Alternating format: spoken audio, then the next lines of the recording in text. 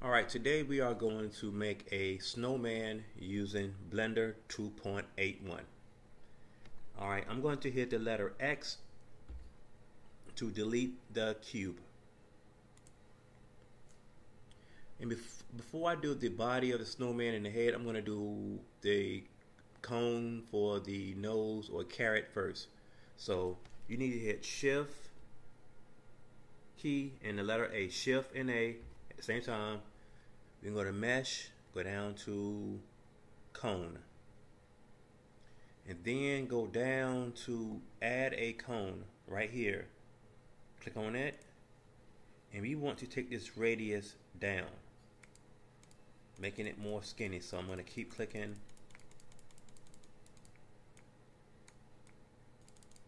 I could have just typed it in. About 0.4 meters. Okay, that's for my radius. And then I'm going to hit the letter G and move this off to the back.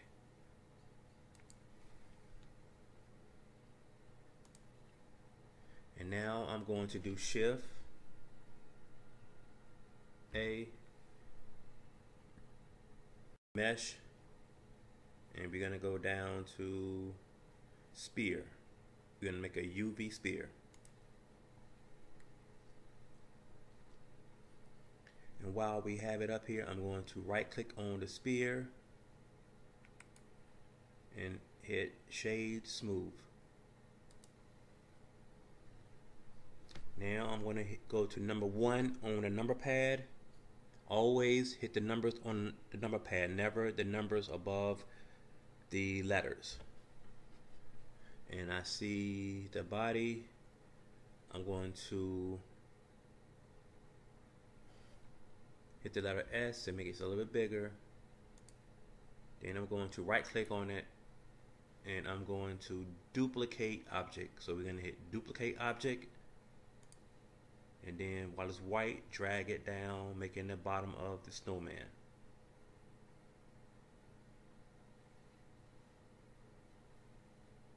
and then I'm gonna hit the letter S and make the bottom a little, bit bigger than the middle part of the body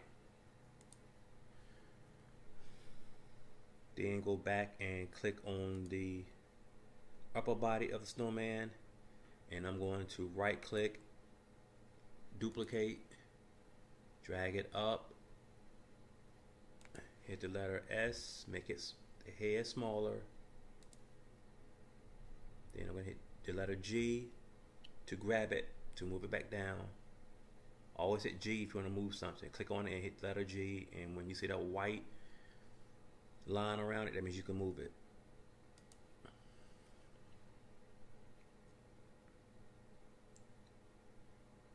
Now I'm going to hit the letter 3. That's the side view. That's the side view. What we're going to do now is take this cone, click on it, right click on it, and hit smooth.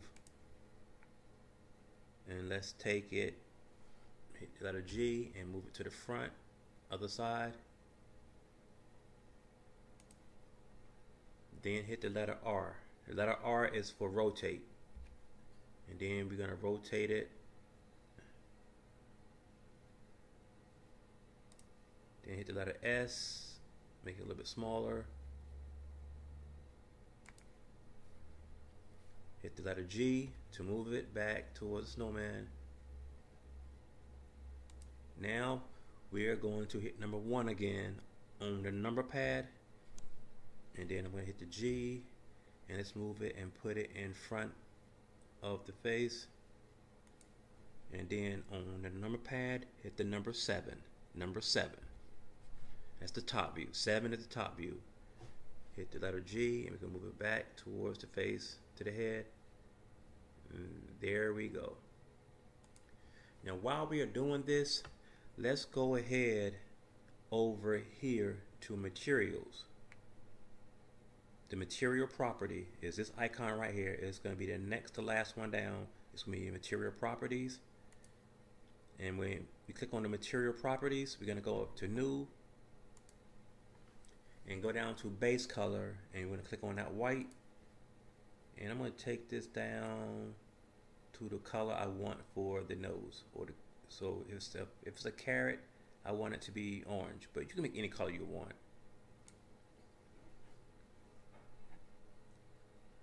Okay it doesn't change on the screen but it is is there just just believe it okay? Now let's go back to number one. And let's go to file save and make sure you go ahead and type in snowman.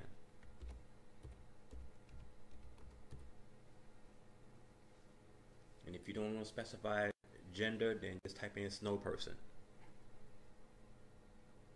And hit save. Blend file. It's going to automatically save as a blender file. Now we are going to add some eyes to the uh, snowman so we're going to click on the head. I'm going to right click duplicate object hit the letter S.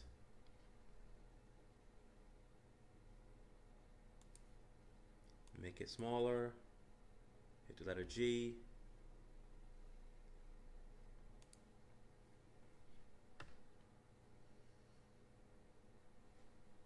grab it make it smaller.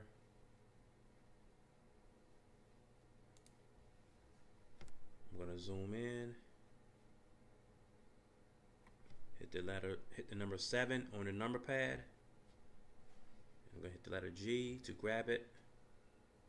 And I'm to take it and put it in the front. Hit number 1 see how it looks. Put it up higher number seven. And while we have it, let's go ahead down to materials, material properties, and hit new material. And let's make it, I'm going to do black. If you want to do a different color, you can change the color you want. Like if I decided I want blue, and I can go down, make it darker blue keep going until it's black. It's up to you. I'm gonna do a real dark blue for the eyes.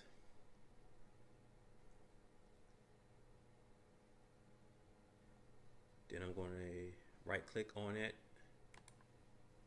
duplicate it. While it's white, go ahead and drag it to the other side.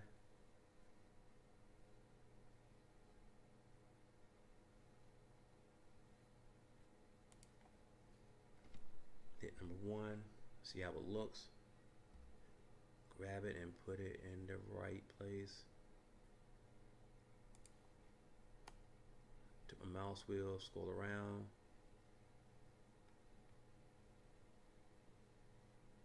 I hold the mouse wheel down and I can scroll around to see how it looks from all angles.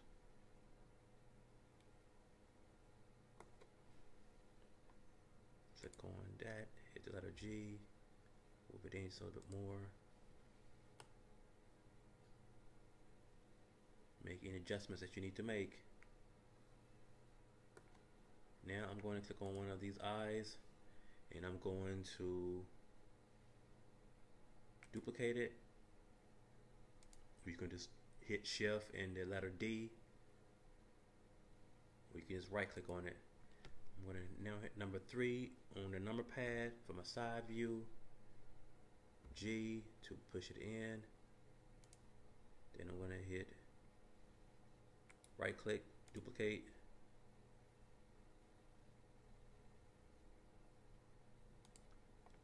Right click, duplicate.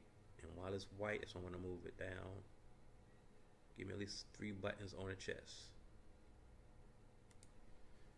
on that belly. Rotate it around, hit number one, see how it looks. And this is where you can grab everything and put it in the right location. That's why it's, it's always good to use all viewpoints when you're making something. because it's three dimensional, not just front and back.